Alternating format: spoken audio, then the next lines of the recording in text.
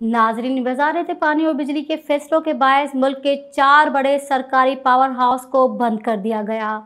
जिनमें से ऐसे पावर हाउस भी शामिल है जिनकी इस्तादाद बढ़ाने के लिए मिलियन डॉलर्स की एड दी गई। पाकिस्तान में मुख्तलिफ़ सियासी इदारों में बिलियन डॉलर्स के कर्जों से बिजली पैदा करने के लिए कई मनसूबे बनाए गए जिनमें से जामचोरो, लाखड़ा, कोटड़ी, मुजफ्फरगढ़, गुड्डू पावर हाउस भी शामिल है, जो चार हज़ार से जायद मेगावाट बिजली पैदा करने की सलाहियत रखते थे। ताहम वफाकी वजार बिजली और पानी ने पावर हाउस को भी फनी खराबी या इन्हें नाकारा करार देकर बंद कर दिया गया। दिलचस्प बात यह है की हुकूमत के रिकॉर्ड में पावर हाउस को फहाल करार दिया गया।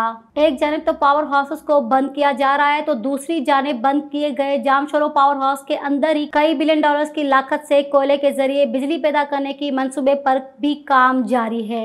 जामशोरो थर्मल पावर हाउस के सीईओ ने इन कैमरा बात करने से इनकार कर दिया। ताहम एक सीनियर ऑफिसर का मौकफ है कि पब्लिक सेक्टर के पावर हाउस को बंद करके निजी शोबे को तेल और गैस फराम करके बिजली क्यों खरीदी जा रही है? सुप्रीम कोर्ट इसका अज खुद नोटिस नोटिस लेकर असल हकायक मालूम करे।